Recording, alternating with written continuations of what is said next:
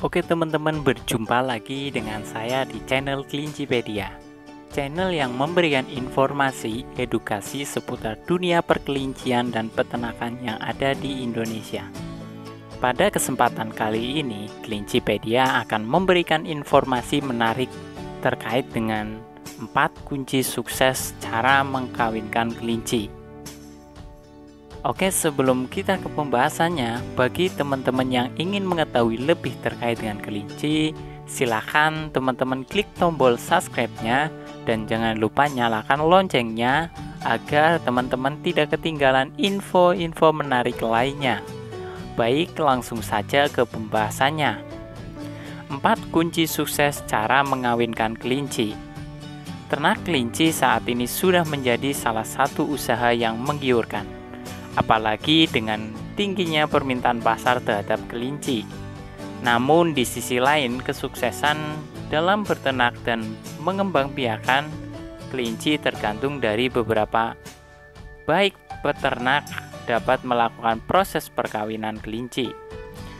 Meskipun sebenarnya dalam mengawinkan kelinci tidak jauh berbeda dengan mengawinkan hewan ternak pada umumnya. Namun untuk lebih jelasnya dalam pembahasan kali ini kami akan mengulas tentang cara mengawinkan kelinci yang benar. Cara mengawinkan kelinci. Sebagai peternak kelinci, Anda harus memahami bahwa peran kelinci jantan dalam proses perkawinan sangat penting. Hal tersebut berkaitan untuk memberikan keturunan yang baik bagi kelinci yang tentunya akan menentukan kualitas hidupnya nanti. Dengan penanganan yang baik, maka dapat meningkatkan peluang keberhasilan proses perkawinan antara kelinci jantan dan kelinci betina.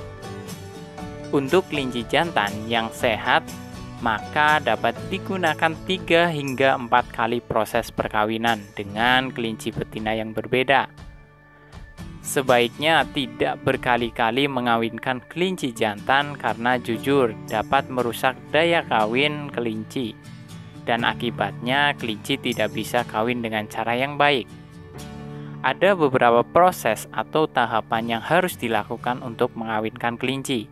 Nah, berikut ini penjelasannya. Untuk yang pertama, usia ideal kelinci. Usia ideal kelinci untuk dikawinkan tergantung dari tipe kelinci itu sendiri. Misalnya untuk usia paling muda jika ingin mengawinkan kelinci tipe polis, yang kecil dapat dikawinkan di, di usia 4 bulan. Sedangkan pada kelinci dengan jenis New Zealand bisa dikawinkan pada usia 6 sampai dengan 7 bulan dengan frekuensi perkawinan dua kali untuk satu bulan.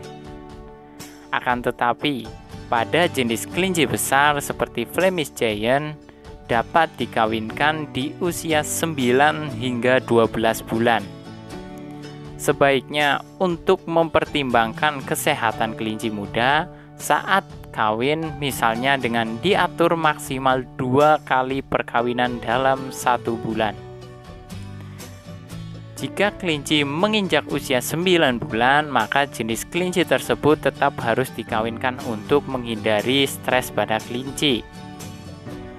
Perlu diketahui bahwa kelinci yang sedang dalam proses masa kehamilan tidak dapat dikawinkan, sehingga untuk menjaga perkawinan agar berjalan dengan lancar, setiap satu ekor kelinci jantan bisa ditemani 9 hingga 10 kelinci betina. Kelinci betina yang terpaksa melakukan kawin biasanya akan mengalami keguguran. Nah, untuk tahapan selanjutnya yaitu penanganan kelinci betina. Untuk tahapan yang satu ini memang dibutuhkan pengalaman yang memadai agar bisa menentukan kelinci betina yang siap kawin atau tidak.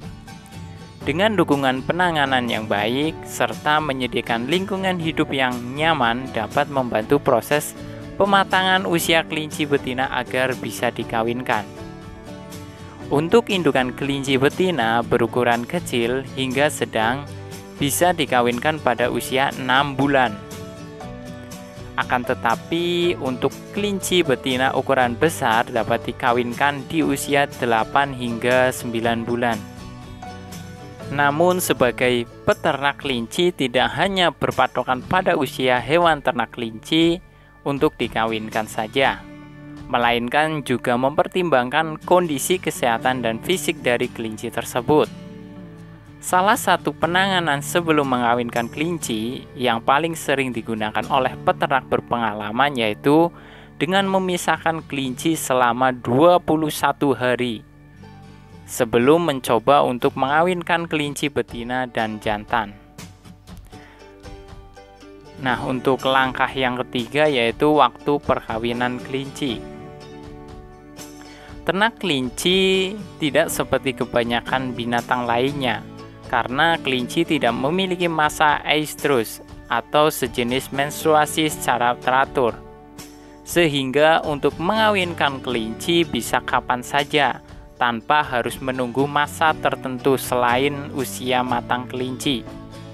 Akan tetapi, masa yang paling subur untuk mengawinkan kelinci yaitu pada bulan-bulan dingin atau musim panas ketika kelembaban sangat tinggi.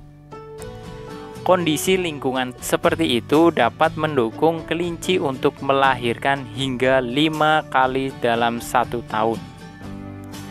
Apabila menginginkan proses kelahiran lima kali dalam setahun, maka kelinci harus dipisahkan dengan anak-anaknya dalam 6 minggu atau 42 hari setelah persalinan. Perlu adanya peran peternak agar dapat memberikan perlakuan dan makanan yang baik untuk kelinci supaya bisa melahirkan 4 sampai 5 kali dalam setahun. Nah, peternak perlu untuk mengatur jadwal perkawinan, kehamilan, kelahiran, dan masa pemeliharaan anakan kelinci. Sebenarnya tidak disarankan untuk membuat kelinci hamil hingga lima kali dalam satu tahun, karena bisa menurunkan kualitas kehamilan dari kelinci itu sendiri. Hal ini bertujuan untuk menjaga kondisi tubuh kelinci agar tetap berada pada masa sehat ketika dikawinkan. Nah, untuk langkah yang terakhir yaitu teknik mengawinkan kelinci. Hal yang perlu diperhatikan oleh peternak yaitu ketika meletakkan kelinci secara bersamaan di kandang yang sama dalam proses pertemuan antara kelinci betina dan kelinci jantan.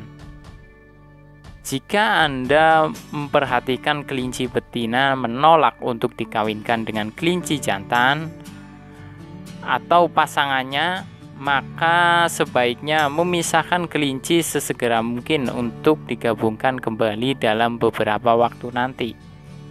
Sebaiknya tidak menggabungkan beberapa pasang kelinci dalam satu kandang. Disarankan peternak untuk menggabungkan sepasang kelinci saja yang kemudian memisahkan kelinci beberapa saat setelah digabungkan. Karena jika kelinci betina diketahui sudah hamil, maka tidak boleh melakukan proses perkawinan lagi. Hal itu akan menyebabkan kelinci betina keguguran atau gagal hamil. Demikianlah informasi cara mengawinkan kelinci dengan benar.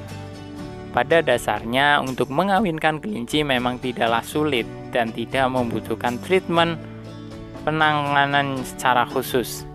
Kualitas fisik dan kesehatan yang baik antara kelinci jantan dan kelinci betina berpeluang besar untuk menghasilkan keturunan yang sehat dan banyak. Sekian dari kami, silahkan share ke yang lainnya jika bermanfaat. Salam sukses, salam Kelincipedia.